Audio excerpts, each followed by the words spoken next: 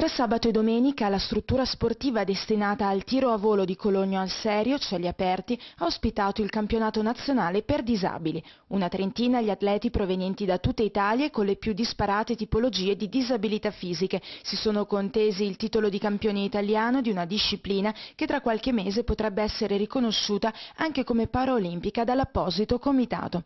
Uno solo il bergamasco sul podio. Omar Radelli di Clusone infatti ottenuto la medaglia di bronzo al double trap e quella d'argento alla fossa olimpica. Una sorpresa per l'atleta che si allena da soli tre mesi.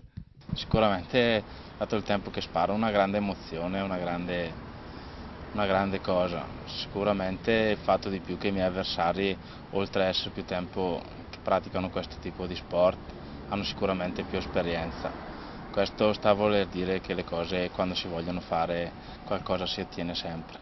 Omar ha dovuto interrompere la pratica del tennis, disciplina che l'aveva comunque portato a gareggiare a livello nazionale a causa di un problema muscolare al braccio. Il tiro a volo sarà dunque solo una parentesi o praticherà entrambi gli sport?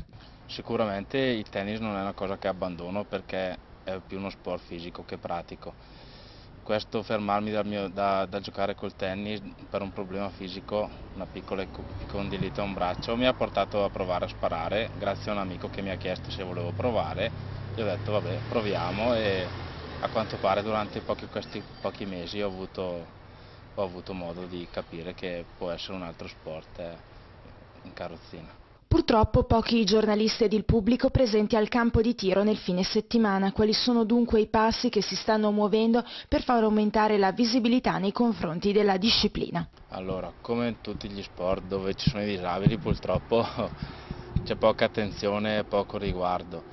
Speriamo durante questa manifestazione c'è stato modo con la federazione e la FITA di avere delle agevolazioni anche per i materiali e per le cose, sicuramente questa è una cosa importante visto visto anche i costi in termini economici di tutti gli sport, che sia il tennis che sia il tiro a volo.